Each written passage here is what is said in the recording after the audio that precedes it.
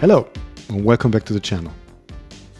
Today I'm gonna do something that many of you have been asking for in the comments, and I have to take this opportunity real quick to appreciate all the, like I got a lot of views over the summer on uh, my channel and a lot of comments from you guys, and I'm really excited about all the support. Look at your office. Look at this. You got three windows in here, and Venetian blinds, and a ficus.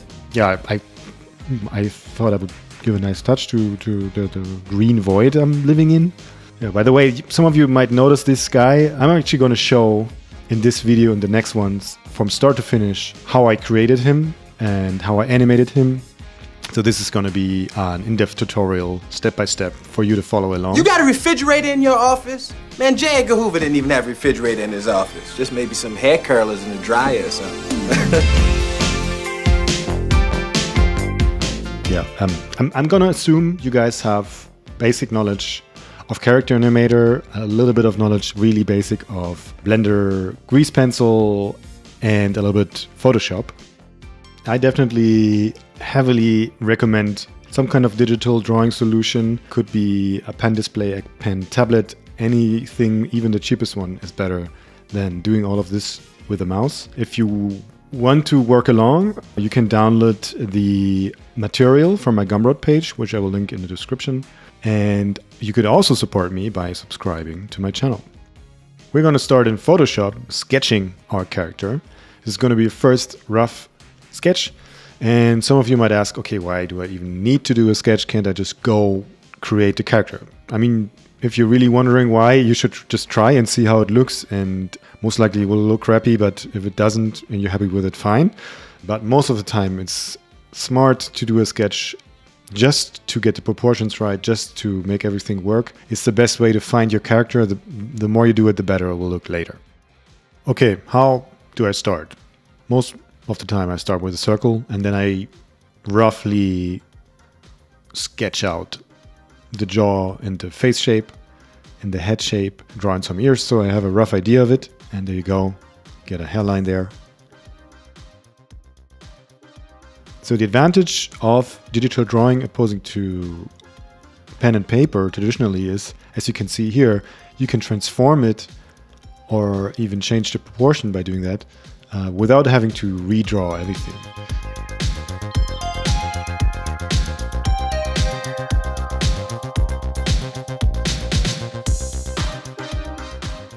You see the nose, which is very complicated most of the time. It's a very challenging shape to draw.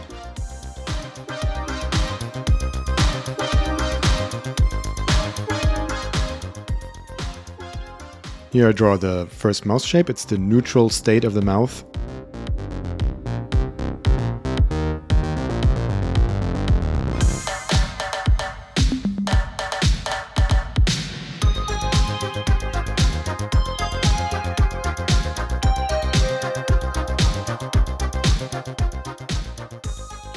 So what is very significant about my characters, I think, is that they all have quite big heads compared to actual existing people. And also, I think what is important is that I'm trying to make a cartoon rather than a caricature. So now I'm drawing the neck and the torso, and mostly for me, it's not just geometric shapes like it is often with cartoon characters, I'm trying to lean towards human anatomy a little bit, but also at the same time trying to break everything down into simple shapes.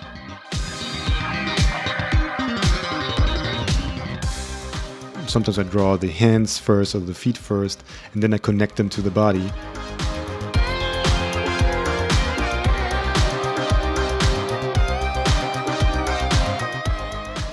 So now I put everything in a folder and we are going to go over to do the second sketch. Why is there a second sketch? This is basically an in-between sketch before I can draw the outlines on top of it. So you see me retracing everything I did before in a more fine-tuned way and it's going more towards actual outlines.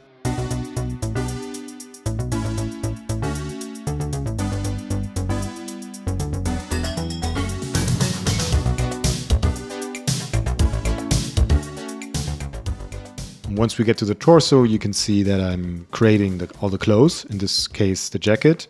And you really have to pay attention to the volume that I put into the shoulders because if you look at the photo down there, uh, you can really see that it's taking up a lot of volume. And it would kind of look weird if you wouldn't do that.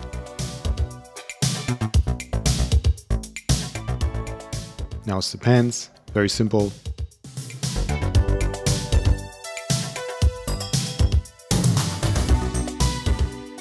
Now we have a decent sketch to do our outlines, the filling, and we can look into the animations we want to do, which include the moving of the sunglasses and a couple of hand gestures. And for me, the best tool to do that is Blender Grease Pencil, because first of all, Blender is free. And Grease Pencil includes a lot of great features to actually draw to the artwork and animate it. It has onion skinning and is based on vector art, which means you can actually scale up your art if you want to without losing any quality. First thing we're going to do is go to File, New, 2D Animation, and this will load a preset for us. It has everything in it, a canvas and a camera to work in Grease Pencil. And we should also turn off the auto keyframe feature down there, otherwise it will just bother us. And what we also have to do is set our project to 12 frames per second now what we don't have yet is our sketch. So we will load it in by clicking on the camera, going into the camera section here on the right, background images, add image, open, find our image, load it, and it's stretchy, so we go to fit.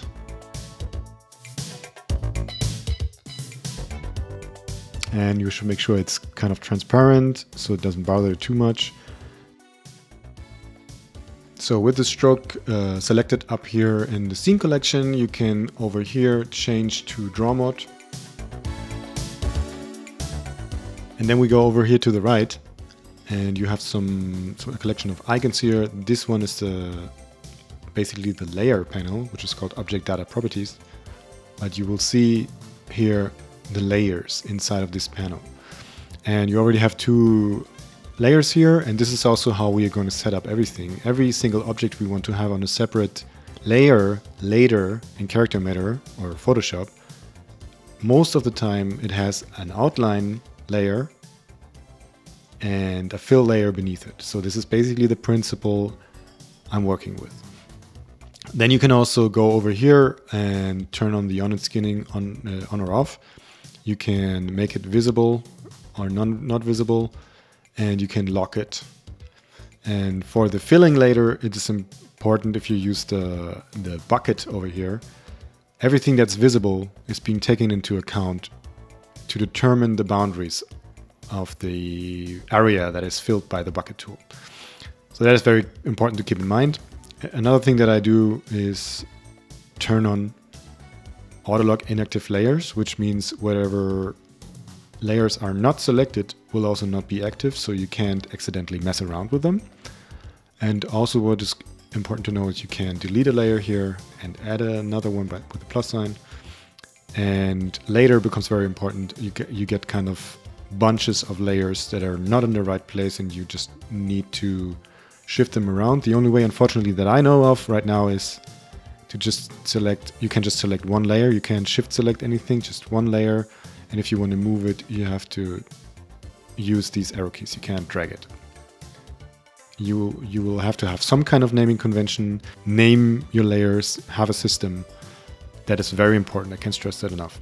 So in order to have an even outline that is not tapered, like I always have, I will turn off the pen pressure, turn up the strength to 1, and in the end I will set the radius to 8 pixels. Now I'm going to also turn on uh, stabilize stroke which gives you this kind of a lasso and you can drag around the outline and you can already see that makes it way smoother, which is what I want.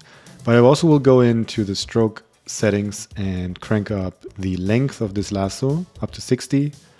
And now I'm going to start to draw the outlines of the face.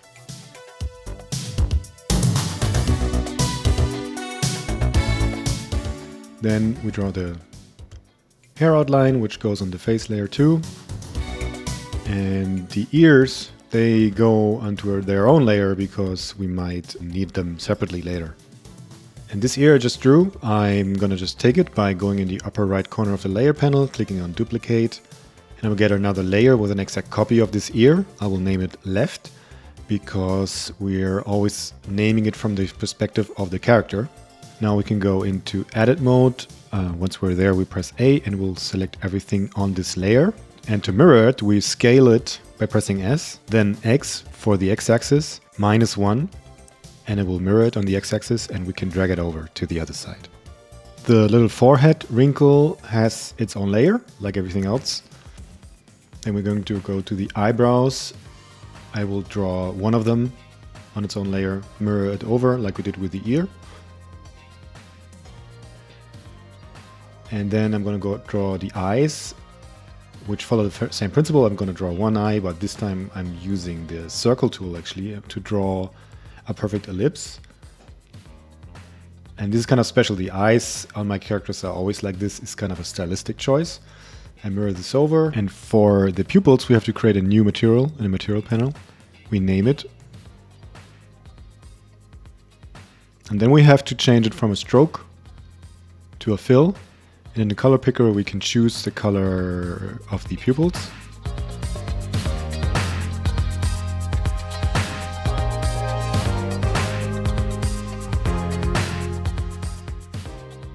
And then I would go over again with a circle tool, make a circle.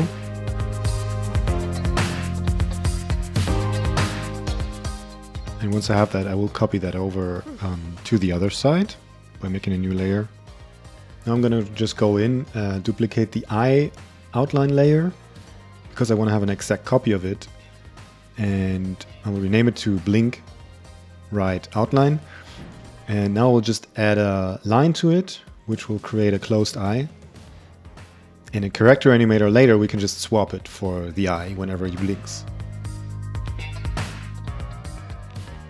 And again, like everything else on its own layer, we draw the nose outlines. And the rule of thumb here is to try to get it right with as few lines as possible, at least for a frontal view like this.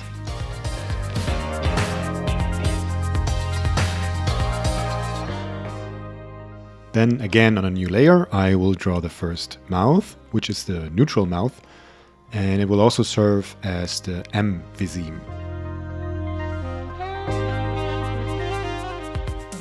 So now on a separate layer, I'm creating the torso, which of course has the jacket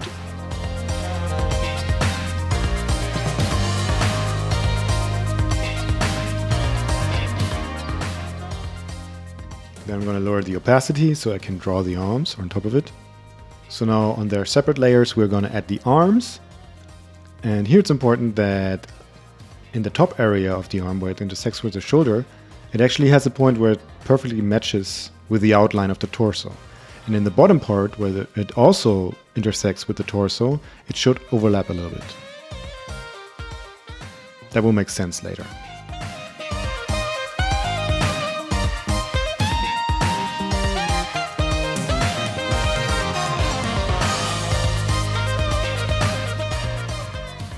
So using the same technique as before, I'm going to mirror it over.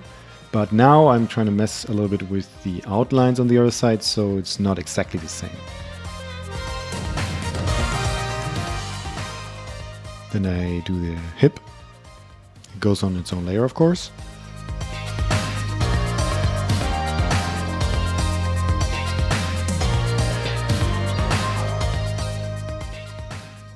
And the legs and the shoe I am just going to put on one layer and copy it over.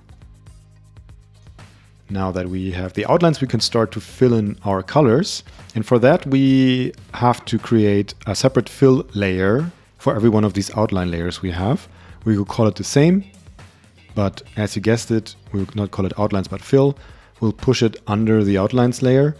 And the outlines layer later will tell our bucket fill tool where to put the fill color on the fill layer.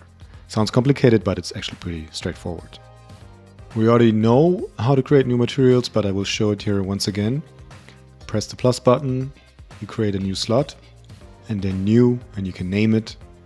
Now it's a stroke, but we will change it from a stroke into a fill. And then you can use the color picker to actually choose a color. There you go.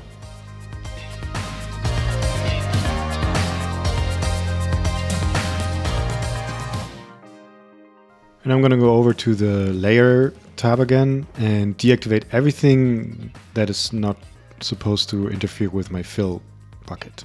So I only have the face left and now it can detect where I click and it fills in the color onto the fill layer. Now I can adjust the color again. You can always do that afterwards. You can adjust the color however you want it.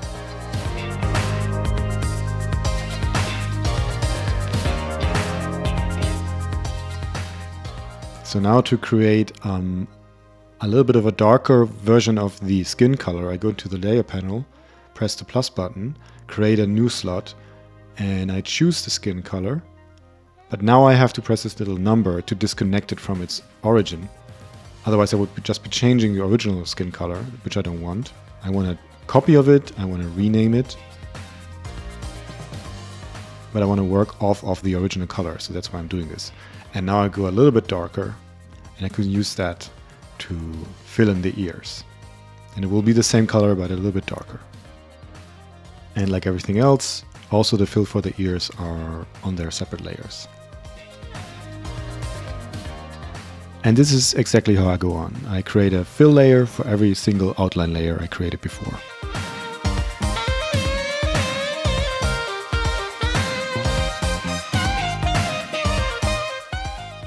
The bucket tool takes the outline layer, or whatever is visible right now, to determine where to put the fill. But in this case, the outline layer doesn't have an outline, so we have to kind of paint in where the fill is supposed to go. And you choose the pencil tool, you stay on your fill color, and you draw in the shape, and then you can fill in the remaining part with the bucket tool again.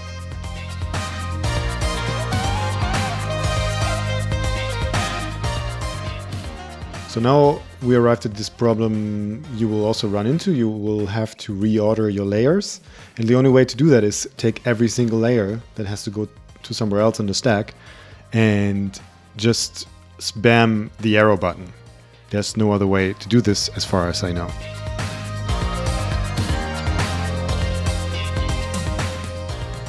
My outlines, as we know, are black, so I will never choose uh, an actual true black for any of my fill colors, because that would basically make my outlines disappear. But it also plays a little bit into this color palette I'm using anyway, because I use these kind of washed out, desaturated colors. Now you see me here, like we did with the mouth, I'm closing another gap, so I can use the fill bucket to fill the rest.